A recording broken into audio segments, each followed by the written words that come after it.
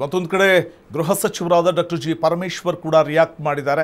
ಈ ವಿಚಾರವಾಗಿ ಯಾಕೆಂದ್ರೆ ಕುಮಾರಸ್ವಾಮಿ ಅವರು ಮಾಡಿದ್ದಂಥ ಗಂಭೀರ ಆರೋಪ.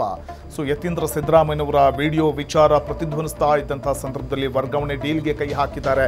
ಶಾಡೋ ಸಿ ಎಂ ರೀತಿಯಾಗಿ ವರ್ತಿಸ್ತಾರೆ ಯತೀಂದ್ರ ಅನ್ನುವಂಥ ಒಂದು ಕೆ ಅವರ ಆರೋಪಕ್ಕೆ ಸಂಬಂಧಪಟ್ಟಂತೆ ಗೃಹ ಸಚಿವರಾದ ಡಾಕ್ಟರ್ ಜಿ ಪರಮೇಶ್ವರ್ ರಿಯಾಕ್ಟ್ ಮಾಡಿದ್ದಾರೆ. ವರ್ಗಾವಣೆ ದಂಧೆ ಆಗಿದ್ರೆ ವಿಪಕ್ಷಗಳು ಅಧಿವೇಶನದಲ್ಲಿ ಪ್ರಸ್ತಾಪ ಮಾಡಲಿ.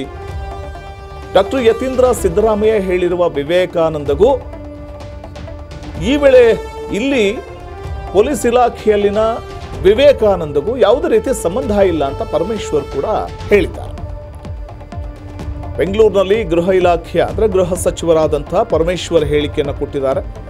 ಯತೀಂದ್ರ ಅವರು ಪ್ರಸ್ತಾಪ ಮಾಡಿದ ವಿವೇಕಾನಂದ ತಾಲೂಕು ಬಿಇಒ ಆಗಿದ್ದಾರೆ.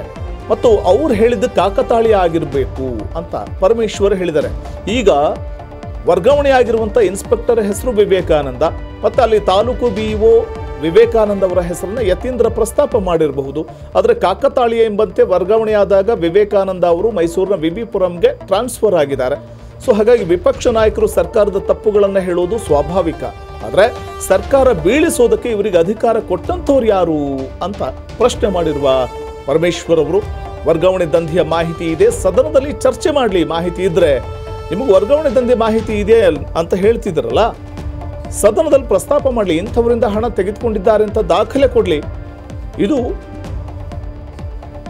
ಬೆಂಗಳೂರಲ್ಲಿ ಗೃಹ ಸಚಿವರಾದಂಥ ಡಾಕ್ಟರ್ ಜಿ ಪರಮೇಶ್ವರ್ ಕೊಟ್ಟಂತ ಹೇಳಿಕೆ.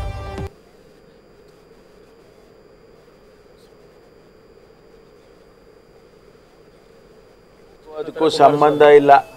ಅವರೇನ ಈಗ ನನಗೇನಾದ್ರು ಹೇಳಬೇಕಿತ್ತಲ್ಲ ಅವರು? ನನಗೇನು ಹೇಳಿಲ್ಲ.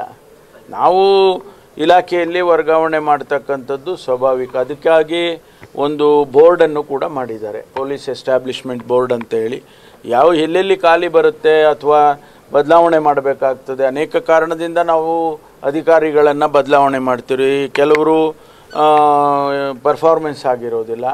ಅಥವಾ ಕೆಲವು ಖಾಲಿ ಇರುತ್ತೆ. ಬೇರೆ ಬೇರೆ ಕಾರಣಕ್ಕಾಗಿ ಅವ್ರು ರಿಟೈರ್ಡ್ ಆಗಿರ್ತಾರೆ ಅಥವಾ ವರ್ಗಾವಣೆ ಆಗಿರುತ್ತೆ. ಅಂಥದ್ದೆಲ್ಲ ನಾವು ಹೆಚ್ಚು ಖಾಲಿ ಇಟ್ಕೊಳ್ಳೋಕ್ಕೂ ಆಗೋದಿಲ್ಲ. ಅದರಿಂದ ನಾವು ಕೆಲವು ಟ್ರಾನ್ಸ್ಫರ್ಸನ್ನು ಅನಿವಾರ್ಯತೆಯಿಂದ ಮಾಡ್ತೀವಿ. ಯಾಕೆಂದರೆ ನೋಡಿ, ಬೇರೆ ಇಲಾಖೆ ಹಂಗೆ ಅಲ್ಲ ಇದು. ಬೇರೆ ಇಲಾಖೆಯಲ್ಲಿ ಒಂದು ಪೊಲೀಸ್ ಸ್ಟೇಷನಲ್ಲಿ ಒಬ್ಬ ಇನ್ಸ್ಪೆಕ್ಟರ್ ಇಲ್ಲ ಅಂತಂದರೆ ನೆಕ್ಸ್ಟ್ ಇಯರ್ ತನಕ ಕಾಯೋಕ್ಕಾಗಲ್ಲ ನಾವು. ನೆಕ್ಸ್ಟ್ ಟ್ರಾನ್ಸ್ಫರ್ ಸೀಸನ್ವರೆಗೂ ನಾವು ಕಾಯೋಕ್ಕಾಗೋದಿಲ್ಲ. ಅದಕ್ಕೆ ನಾವು ಪೊಲೀಸ್ ಎಸ್ಟಾಬ್ಲಿಷ್ಮೆಂಟ್ ಮಾಡಿ ಅದರ ಮೂಲಕ ನಾವು ಟ್ರಾನ್ಸ್ಫರ್ಸ್ಗಳು ಮಾಡ್ತೇವೆ. ಏನೋ ಕಾಕತಾಳೀಯ ಆಗಿರ್ಬೋದು ಅಷ್ಟೇ ಅದು ಬಿಟ್ಟರೆ ನನಗೇನು ಅವ್ರು ಯಾರು ಯಾರೂ ನನಗೇನು ಅದನ್ನು ಹೇಳಿಲ್ಲ. ನಾವು ಚರ್ಚ್, ನಾವು ಚರ್ಚೆ ಮಾಡುವಾಗ ಅದು ಯಾವುದು ಕೂಡ ನನಗೆ ಯಾವ ಒತ್ತಡ ಇವ್ರನ್ನ ಇಂಥವ್ರನ್ನ ಹಾಕಿ ಅಂತೇಳಿ ಏನು ನನಗೆ ಯಾವ ಒತ್ತಡನೂ ಕೂಡ ಇಲ್ಲ. ಒತ್ತಡ ಇವ್ರನ್ನ ಇಂಥವ್ರನ್ನ ಹಾಕಿ ಅಂತೇಳಿ ಏನು ನನಗೆ ಯಾವ ಒತ್ತಡನೂ ಕೂಡ ಇಲ್ಲ. ನಾವು ಉತ್ತರ ಕೊಡೋಕೆ ರೆಡಿಯಾಗಿದ್ದೇವೆ ನಾವು ಉತ್ತರ ಅವರಿಗೆ ಸಮರ್ಪಕ